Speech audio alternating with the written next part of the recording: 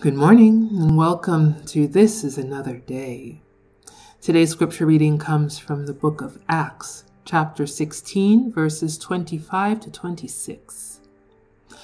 Around midnight, as Paul and Silas were praying and singing hymns to the Lord, and the other prisoners were listening, suddenly there was a great earthquake.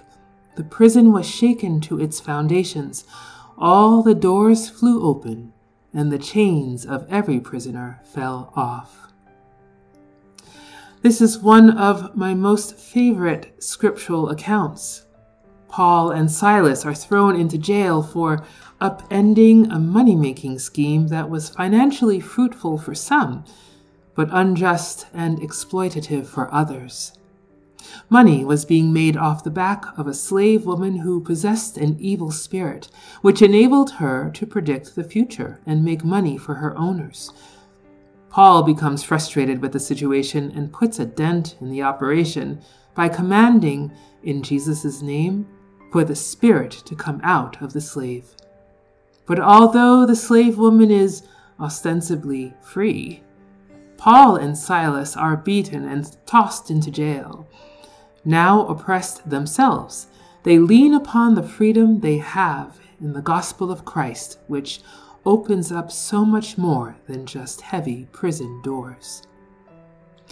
This is another day to examine where we might be in chains. In what area of our lives do we keep ourselves or others fettered to unhealthy beliefs, life narratives which no longer serve us, or unrealistic expectations that stifle and smother us, preventing us from thriving and calling forth our full humanity in Christ. Emmy nominated actress, documentary film producer, and transgender activist Laverne Cox observed Each and every one of us has the capacity to be an oppressor I want to encourage each and every one of us to interrogate how we might be an oppressor and how we might be able to become liberators for ourselves and for each other. So, Lord, you declare that freedom in your gospel can liberate both the oppressed and the oppressor. Help us today to continually examine our own complacency in the oppressive systems around us and untruths about ourselves, so that we may hope and work all the more diligently for true justice.